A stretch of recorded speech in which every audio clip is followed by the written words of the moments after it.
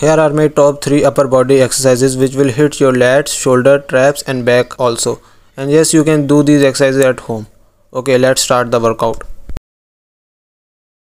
Okay, starting with number one exercise, which is one hand push-up. I recommend you guys to do 6 sets of 6 reps. If you don't know how to do one hand push-up, you can ask me. I will make a complete video on that. And yes, make sure to do one hand push-ups on your both hand. Otherwise, the one hand of yours becomes stronger and other will remains weaker.